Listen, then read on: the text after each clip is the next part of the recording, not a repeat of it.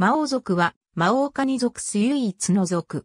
常緑低木でユーラシア、北アフリカ、南北アメリカ大陸の乾燥地に50種ほどが分布する。葉は退化して鱗片状になっている。高さは数十センチメートル、茎は節で分岐する。私有一種で、花は胞子葉が松笠状に重なり節につく。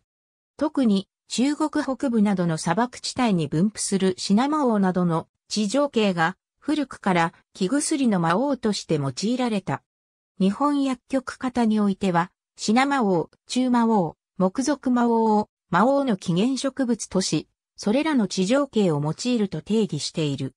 これには鼻詰まりに効果のある成分プソイドエフェドリンや気管支喘息に効果のある成分エフェドリンが含まれる。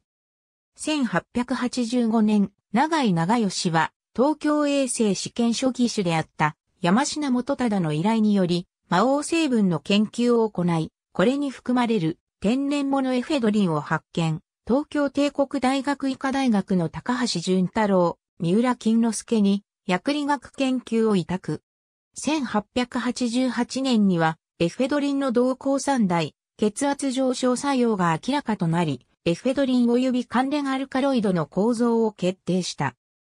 この賛同作用は眼底検査などに応用されたが、漢方における魔王本来の薬能と結びつく薬理作用は当時の西洋科学吸収の陰で忘れ去られた漢方医学のためか、当時はその効果は知られず、新活会とカール・エフ・シュミットによって、気管支喘息治療に有効であることが明らかにされたのは、1924年のことであった。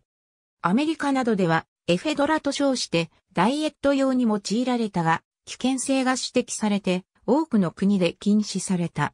アメリカでは、先住民が自生種を茶のように引用したこともある。